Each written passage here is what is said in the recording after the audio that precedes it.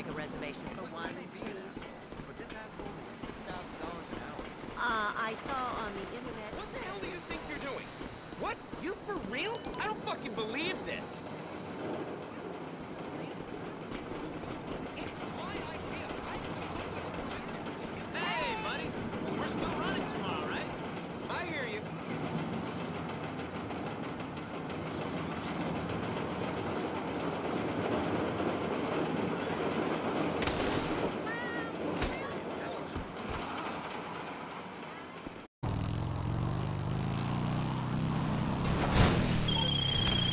LJT here. Uh, you heard the expression, money doesn't grow on trees?